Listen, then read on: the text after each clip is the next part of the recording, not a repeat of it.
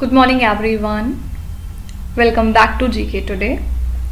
This is Nuzhat Sana and in today's session we will be discussing the most important current affairs for 13th of November 2024.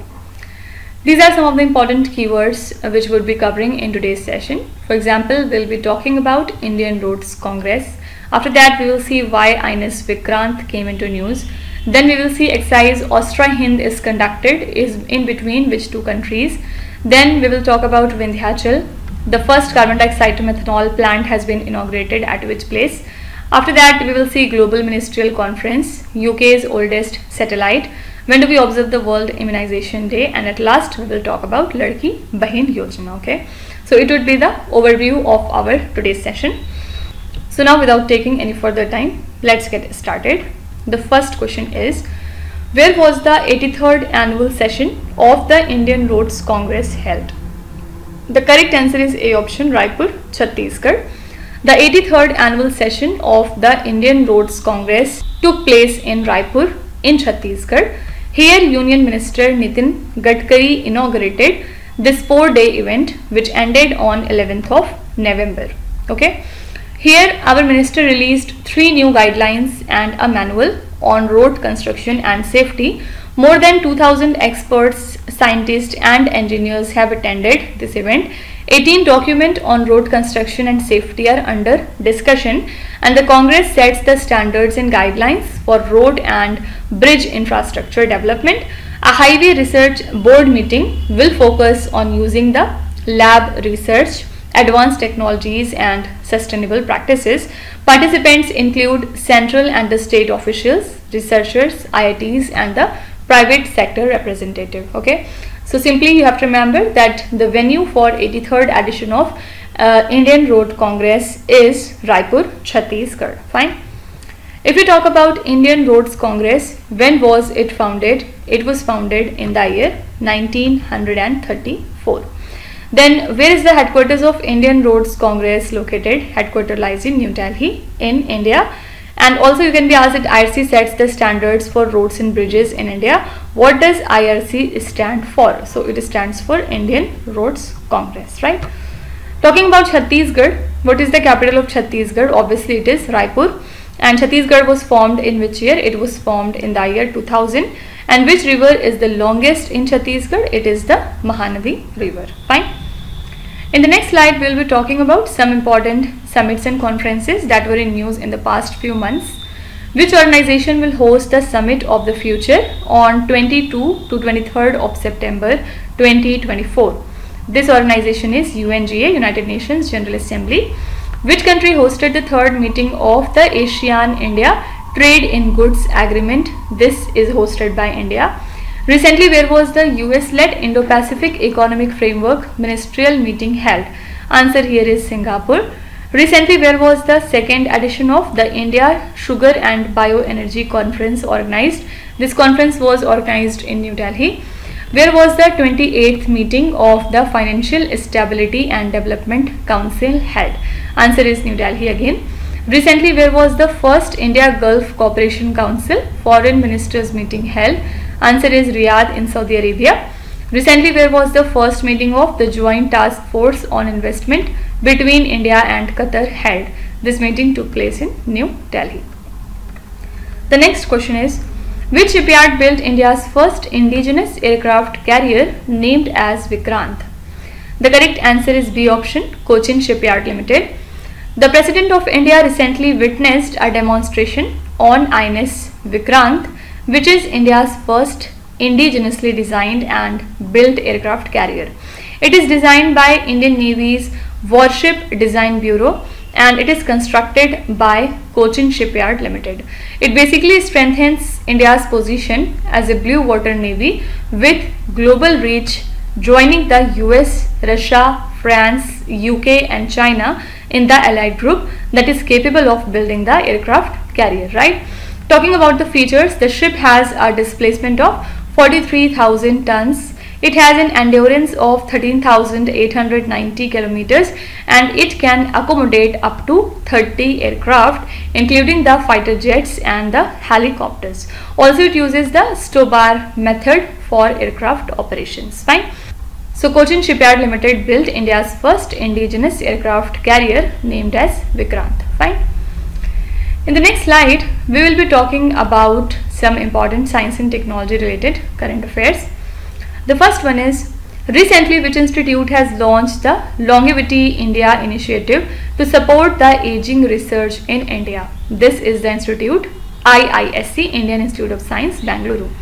Which country's space agency recently launched two Iranian satellites? The first one is Kausar and second one is Hudud into, into the orbit. This is the Russia. Which institute recently developed an efficient method of hydrogen generation from methanol and formaldehyde combination this is IISER Tirupati. The full form here is Indian Institute of Science Education and Research. Recently which IIT have developed a nano sensor that is designed for the swift detection of cytokines proteins that are crucial in cell regulation. This is IIT Jodhpur. Recently which space agency has successfully launched the advanced land observing satellite 4 to revolutionize the disaster management. This is JAXA, it is the Japan based space agency. Government recently launched a mass drug administration campaign for which disease? Answer here is lymphatic filariasis. What is Huntington's disease recently seen in the news? It is a kind of an inherited disorder that causes nerve cells in parts of the brain to gradually break down and then uh, finally die. Okay. Question number three is where was Bengaluru's first digital population clock inaugurated? This is an important question. And Bengaluru's first digital population clock has been inaugurated at ISEC means Institute for Social Economic Change. Okay. What is the use of this digital population clock? It actually provides real-time population estimate for Karnataka and India and the project is a joint effort of ISEC and the Union Ministry of Health and Family Welfare so the clock updates Karnataka's population every minute 10 seconds and India's population in every 2 seconds. It aims to raise awareness about the population dynamics and support the research. Similar clocks will be installed at 18 population research centers in India. It is equipped with satellite connection, advanced software and tools. Also, it will enhance the demographic studies and policy analysis. Fine. So the first digital population clock of Bangalore has been inaugurated at Institute for Social Economic Change, right? Talking about the state Karnataka, which is the famous traditional dance that originated from Karnataka and it is performed during the festivals and religious occasion. This is the Yakshagana festival and which UNESCO World Heritage Site is located in Karnataka. It is the Hampi. It is very famous, right? Now in the next slide, we will be talking about some national news. The first question is, recently Ministry of Rural Development signed a memorandum of understanding with which institute to formalize their partnership in applications of geospatial technology and artificial intelligence. This is IIT Delhi. Recently, Union Home Minister inaugurated PM College of Excellence in which Indian state? It has been inaugurated in Madhya Pradesh Recently, which ministry has announced the implementation of GNSS based electronic toll collection system in India? Answer is Ministry of Road Transport and Highways. Recently, which state launched the School on Wheels initiative? This initiative belongs to Manipur. Recently, where was the Center for In Situ and Correlative Microscopy inaugurated? The center has been inaugurated at IIT Hyderabad. Recently, the Armed Forces Medical Services signed a memorandum of understanding with which IIT to collaborate on research and training. This is IIT Hyderabad again. Jaiv Gramam campaign, which is a new initiative to promote organic farming, recently launched in which Indian state? This campaign has been launched to promote organic farming and recently it has been launched in Kerala state. Now next one is exercise Austra Hind is conducted between India and which other country? So basically the third edition of this joint military exercise Austra Hind recently started on 8th of November at the foreign training node in Pune in the state of Maharashtra. It is an annual exercise that is held alternatively between India and Australia. If you remember the last edition was held in Australia in December 2023. So the Indian contingent included 140 personnel mainly from the Dogra Regiment and the Indian Air Force and exercise aims to enhance the military cooperation and interoperability for joint sub-conventional operations in semi-urban semi-desert terrain under the United Nations Chapter 7. So drills include counter-terrorism operations, joint raids, drone usage and special heli-borne operation. Also it promotes the exchange of best practices in tactical operation, right?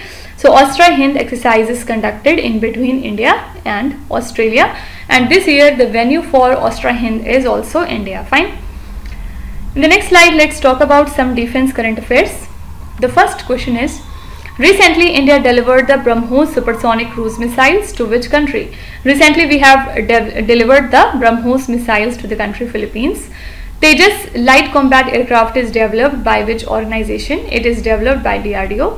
Which Indian Navy ships recently completed their visit to Manila, Philippines as part of the operational deployment of the Indian Navy's Eastern Fleet to the South China Sea? These ships are INS Delhi, INS Shakti and INS Kiltan. Recently which city is being established by the armed forces as the country's first India's first tri-service common defense station. This is the city of Mumbai. What is the role of our defense attaché recently seen in the news? What is the role of it? So its role is to represent the country's defense establishment in foreign embassies.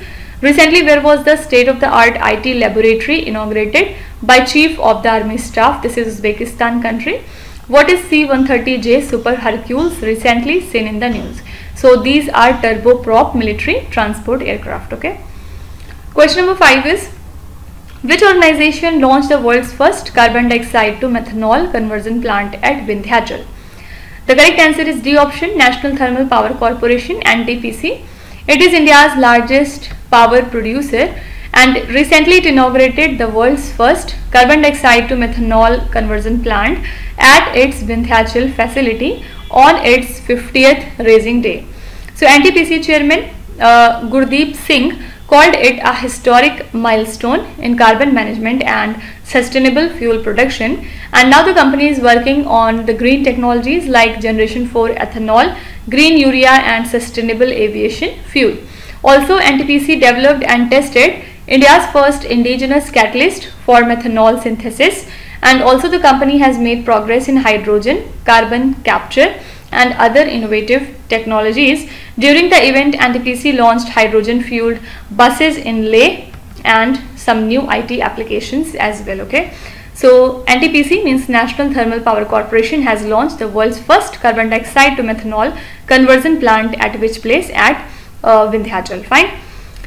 Now, in which year was the NTPC founded and what was its original purpose? So, it was founded in 1975. Basic aim was to accelerate power generation in India, right? Now, in the next slide, we will be talking about some environment and biodiversity related news. The first question is Asola Bhatti Wildlife Sanctuary which was seen in the news lies on which mountain range? This wildlife sanctuary is found to be on Aravalli ranges Next is Ahaetulla longirostris belongs to which species? This is not at all uh, important but still you can see the answer. It is the uh, snake species. Monsoon Croaks uh, Bio Blitz 2024 recently organized in which Indian state? This event took place in Kerala.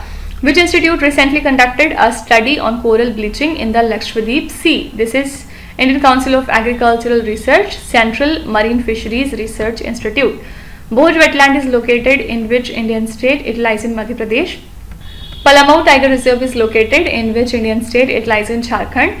Sathyamangalam Tiger Reserve is located in which Indian state? It lies in Tamil Nadu. Okay.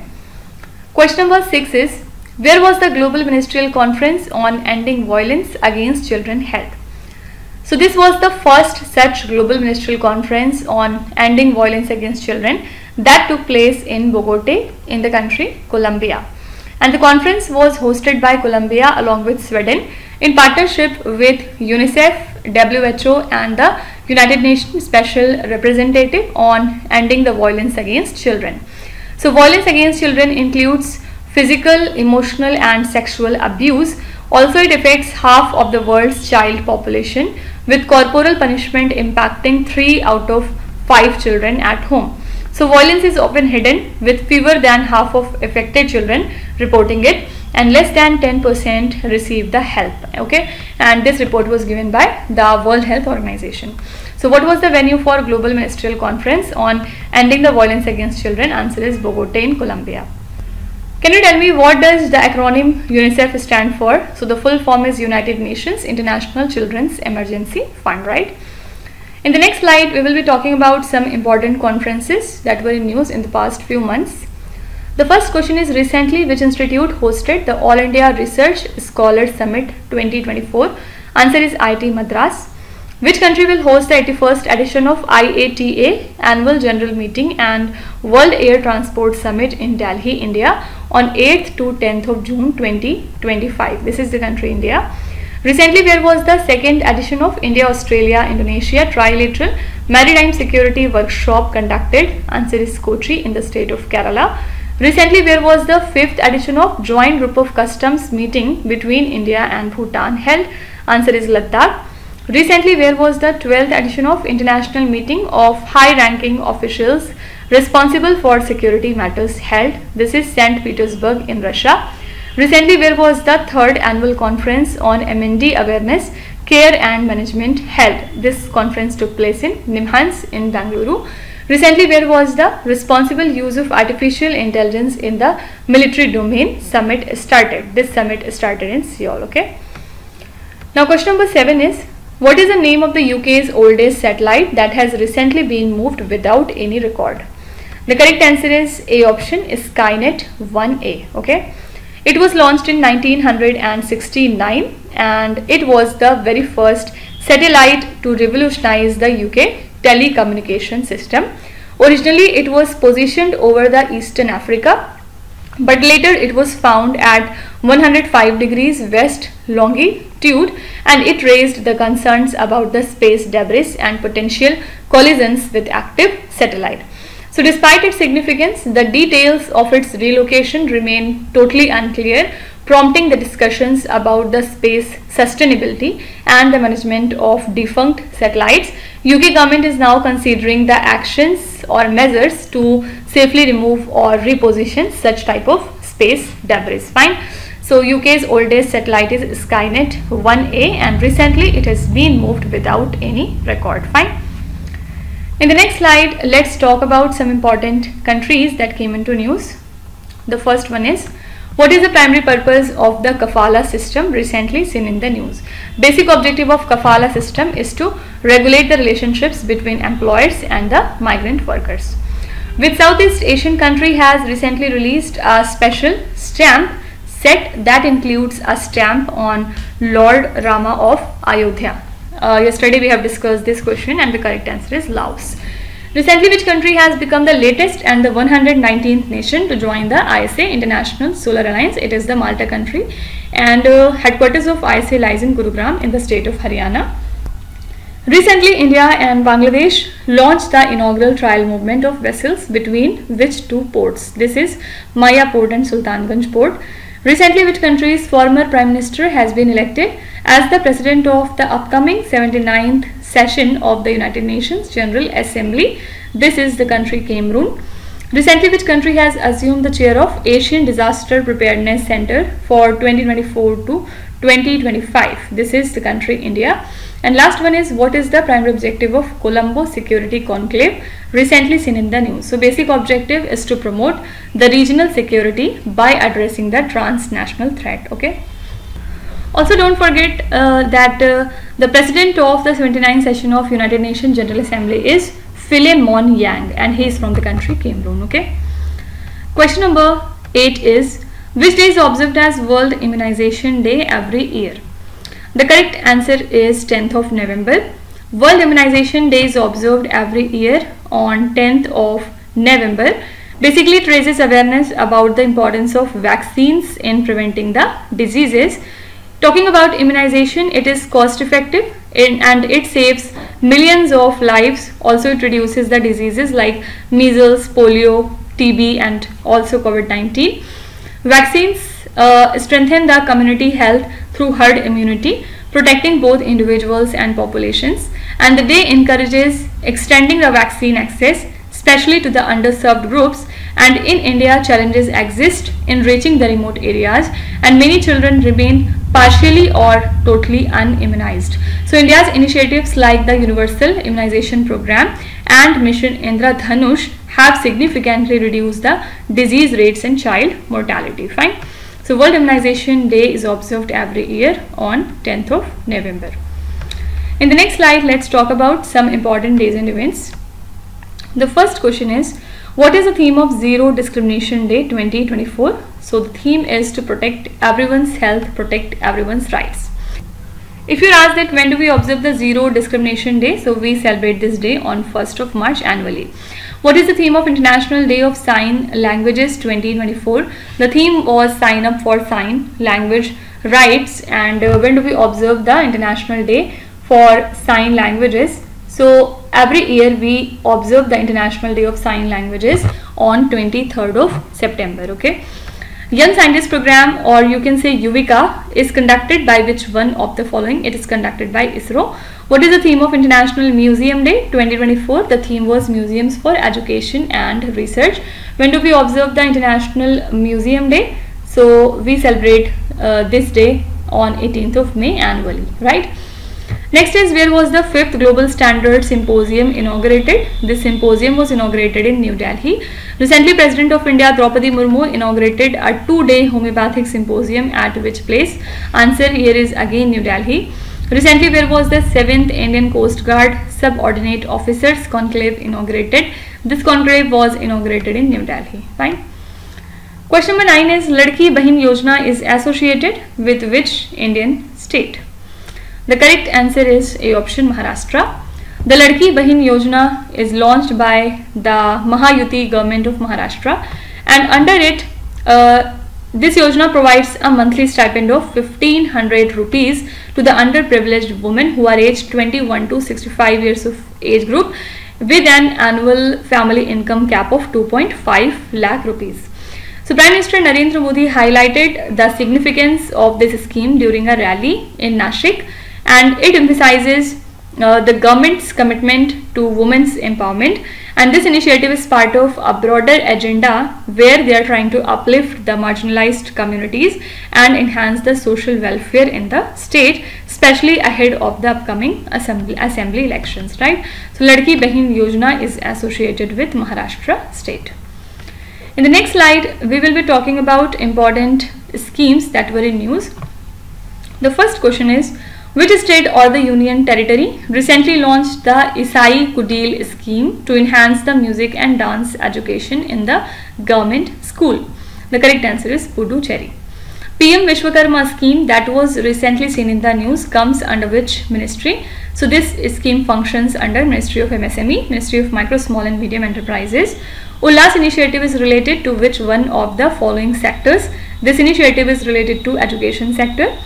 This department is responsible for managing the Vigyan Dhara scheme recently seen in the news. Answer is Department of Science and Technology. Recently, which ministry launched the Swayam Plus platform? It was launched by Ministry of Education. Which state government recently launched Mukhyamantri Nagar Unnayan Prakalp scheme? This scheme belongs to Tripura. And last is AIIMS Jammu was recently established under which government scheme? It functions under Pradhan Mantri Swasthya Suraksha Yojana. Okay. Now last question is which Indian hockey player won the Fitch Player of the Year for 2024? The correct answer is B option Harmanpreet Singh. Indian men's hockey team captain Harmanpreet Singh and former goalkeeper PR Sreejesh won the Fitch Player of the Year and the Goalkeeper of the Year titles respectively for 2024 and the awards were presented at the 49th Fitch Statutory Congress in Oman. Talking about Harmanpreet, he is a two-time Olympic bronze medalist and he received more than 63% of the votes while PR Sreejesh polled over 62% of the votes. So winners were chosen through votes from an expert panel, National Hockey Associations, fans and media and Fitch is the global governing body for hockey and the headquarters lies in Lausanne in Switzerland, right? So Harmanpreet Singh recently won the Fitch Player of the Year for 2024 while PR Sreejesh won the Goalkeeper of the Year title for 2024, right? In the last slide, we'll be talking about some sport related news. The first question is Recently, who has made history by becoming the first Indian to be elected as the president of the Olympic Council of Asia? This is Randhir Singh. Recently, world's highest competition pool has been opened in which country? This pool has been opened in Bhutan country. Recently, where was the 33rd edition of the Olympics started? Answer is Paris. Recently, who won the National Women's Carom title for the 12th time? This is Rashmi Kumari. Durand Cup is associated with which sport? It is related to football. Which country hosts the inaugural Kho World Cup in 2025? Answer here is India. Which country won the Men's Asian Hockey Champions Trophy 2024? The winner country is India. Okay. So this is all about today's session. We are done with our 10 current affairs for today along with the revision part. And now at last I'd like to give you some homework as usual and today your homework is related to the government schemes. On the screen you can see 7 questions and many times we have discussed all these questions now it's your turn to attempt all these questions. Please read each of the question carefully and try to answer them in the comment section. I'll be waiting for your answers. And now before concluding, let me again remind you that these questions are part of our daily 20 MCQ series in the GK Today Android application. So if you want the PDF of the lecture, you can subscribe to that course by paying a very nominal fees. So now we will be meeting tomorrow with some more important current affairs. Till then, stay tuned. Thank you so much for watching and please do not forget to subscribe to GK Today. With this, me Nuzhat Sana signing off.